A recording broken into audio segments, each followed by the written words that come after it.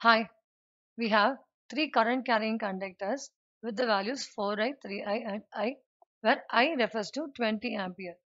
They are